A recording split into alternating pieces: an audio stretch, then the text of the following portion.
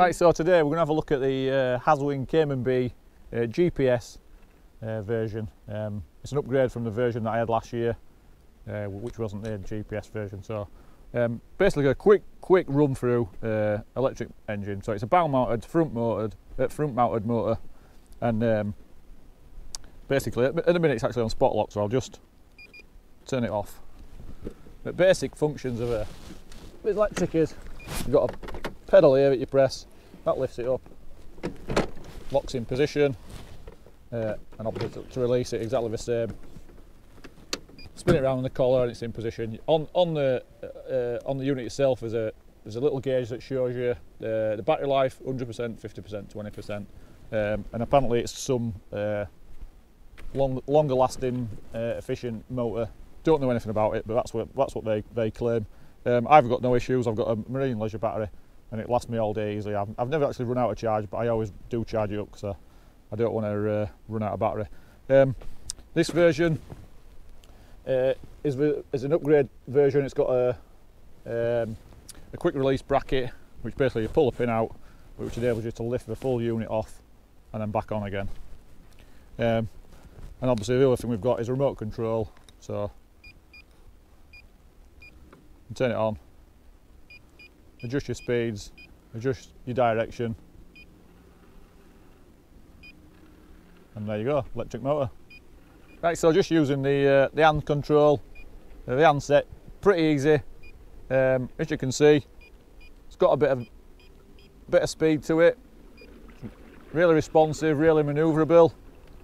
Um, it'll allow you to get into places. You obviously wouldn't you wouldn't be driving about like this all the time. I'm obviously doing it in lunatic mode, but really, uh, really good.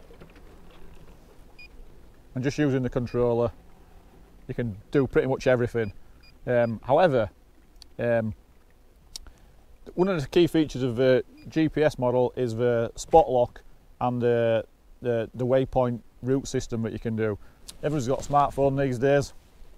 You download the Helmsman app, and uh, on this app you can basically quickly um,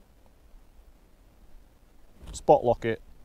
Now that's good. But this again, like I said, it's not the best day because it's not windy, but this is going to hold me in position now. And then also what you can do is, we'll, what we'll have a look at next, is you can do the uh, set up a route, which will allow you to fish a certain position. So um, we'll, cut to that now and we'll show you what I mean.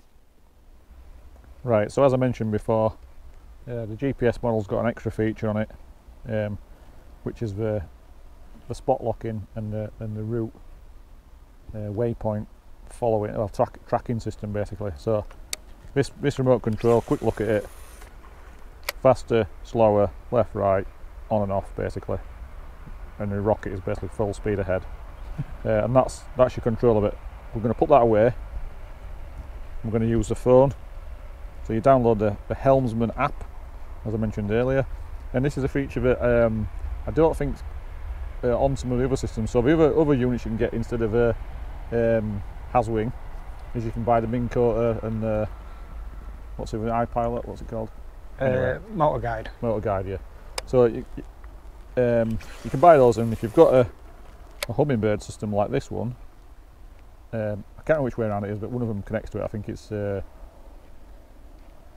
Motor Guide. Anyway, but you can connect it to that system, and then you can do waypointing, your target, and all this kind of stuff, and you can make it do something. But I'm not an expert on that, and I'm not going to go into it. Uh, what this one does is it doesn't link um,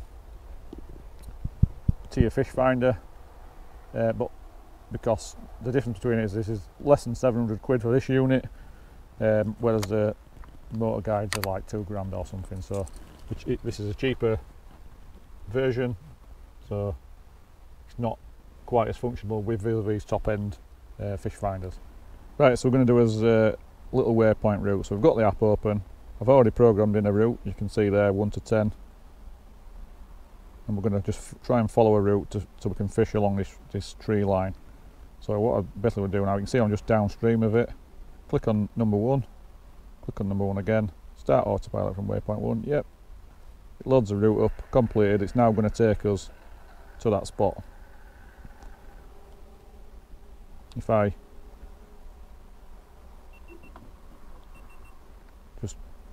you just flick up on the, like this little compass thing and it'll sort of change. Well, it, it changes speed basically. So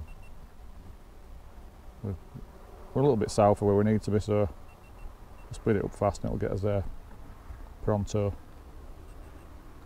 You can see the but it's turning the boat round. It's taking us where we want to go. I'm not doing anything, not controlling anything now. Hands free, and off it goes. Takes us upstream to where we want to go. And up, up here, basically, we've got a, a, a tree line with some stumps around it. We're going to fish that. We'll fish it with jerk baits just because we like fishing with jerk baits. So we're getting close to number one, so I'll just slow it down and we can set the pace we want.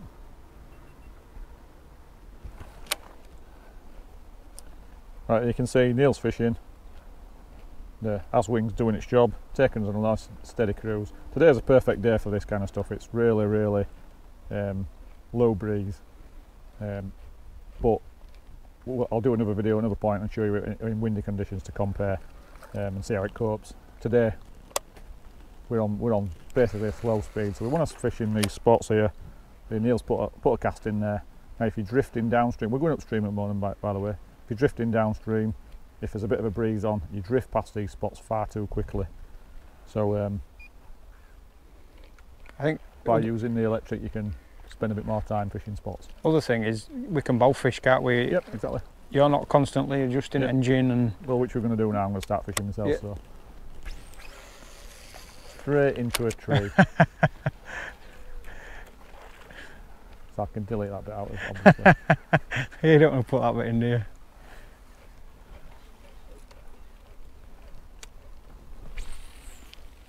That's the cast I'm going to keep in. Just add pike. So I've put it on the slowest speed at the moment, and we'll we'll just see if, if between us we think we'll talk to each other, me and Neil, and we'll say speed it up, slow it down. Like I say, depending on the flow of the river, depends on the wind conditions, you might want to speed it up or slow it down. Uh, you might be finding that you're in a, an open spot with nothing, so you let's move forward a bit more. So you'll speed it up. Um, so what you could do if you put it on, I think it's on one speed at the moment, stick it on two or three, and it'll allow us to fish this spot really, really fast.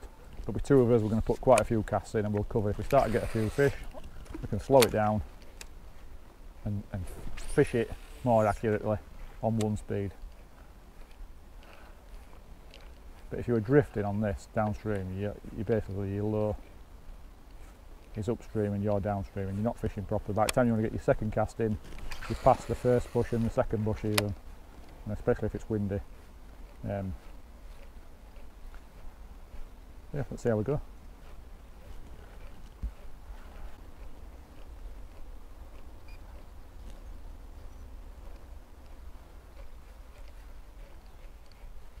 Perch fishing. Should, mate. But it's full of perch in there. Could be. Got to set up and have another run through it. Know? Smaller stuff if needs be. Yeah. Can't imagine why there won't be some pike sat in there as well though. God, something's But got, Baby Yeah. perch, take it. Take something's it. It's just got to come up and nail that. yeah, little, little perch mate are about as big as Rapala. Said there'd be perch in there though, didn't we?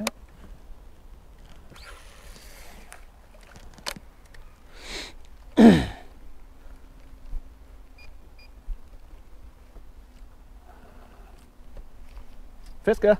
Yes, He likes the bike. yes. Oh, it's got a big, yeah, it's got like a cut on it. yeah, big saw thing on it. It's like someone's grabbed it. Oh my poor pike.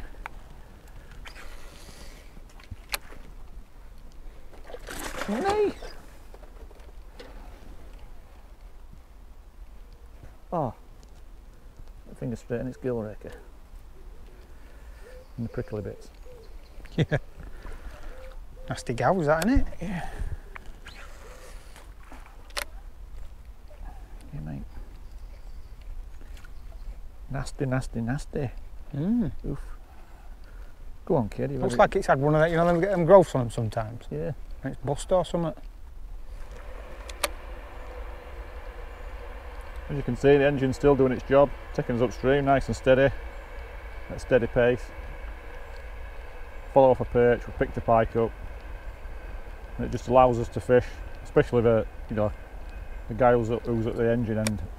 the guy was driving the boat like myself today, you know, previous times you're always messing with the engine, trying to correct yourself, drifting, boat spinning round, crossing over each other's lines. Now we've got a perfect steady route upstream.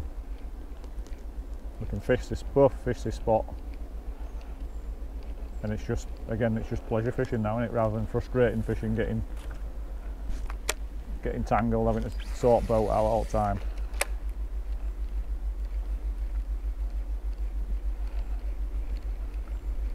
It just allows you to fish it properly. It, will- put more fish on, on boat, won't it? Yep. Because you've just got more fishing time. Perch. Perch there. look. Perch. Take it. Take it.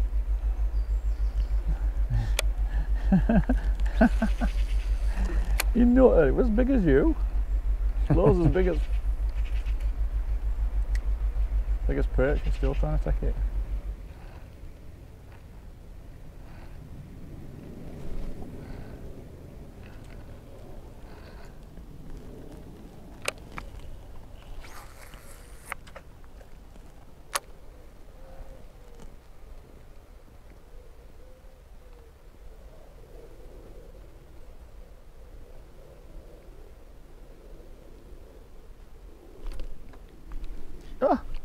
See that little? I've got, see, I've got one as well. Where did they come from? I don't know. I'm almost, look at them. almost exactly the same size. Come up and whack mine. I did. I saw you. I saw that were fish. Yeah, yeah. I was shaking some weed off and I shook weed off and a little pike just run up and hit it. Well, swam up, didn't run. See if I can get him again. Now looking for my next cast, and then just happened to look back and saw a pike coming at me. Cheers, kid. Go find your mate because he's over there somewhere. As you can see now, we've got to end of his route. We've got to number 10 on his on his uh, little waypoint route that we planned, and it's just holding us in position now. I'll just stay here until we take control again. So that's a look at the Haswing B GPS. Um, as you saw there, the, the best feature for, for us that we've found so far is this little waypoint um, tracking system we've got. Uh, program a route. I do it when I'm at home or when I'm on my lunch break at work. I just zoom in and look at somewhere. and I think that's looks a bit fishy. It's a bit like Google Maps on your on the on the app. You zoom in, pick a tree line or whatever, and just you know big bend in a river or something, and just plot a route. And then when you get there, fish it. Um, remember to name your routes because it gets complicated. Cause I've got loads of routes in the in the system now, so I give them a little nickname. It's easier to find them then. And uh, and yeah, then we go. So we picked up a couple of fish, and uh, we'll do that. We'll whatever we think it's, it's fishy, we'll pick. We'll we'll build up routes, find a new spot, and away you go. And yeah, so um, we'll do this again on a windy day, so you can see the difference because it's really calm today. We've got we've got uh, flat calm day and a bit of sun coming out later. Today. So we'll do I'll do another video later for spot lock and um, uh, the route on a on a windy day, so you can see the difference. But uh, if you're interested in buying this this uh, product, uh, I, do I do sell it on the Riverpiker shop. Um, send me a message, um, and I'll explain, you know, what you need and what what will suit you. But I, I do recommend getting the uh, quick release bracket.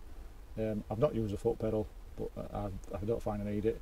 Uh, other things to to get bit fidg- bit faffy chargers for your uh, for your phone and also for the controller so I forgot to charge my controller up but as long as I've always got some little power packs in my boat. And just charge up your handset. And that, that's it yeah. Great little system. We're uh, makes it makes our fishing a lot easier a lot better a lot more enjoyable so. Hope that helps a few people who've been asking, asking questions about it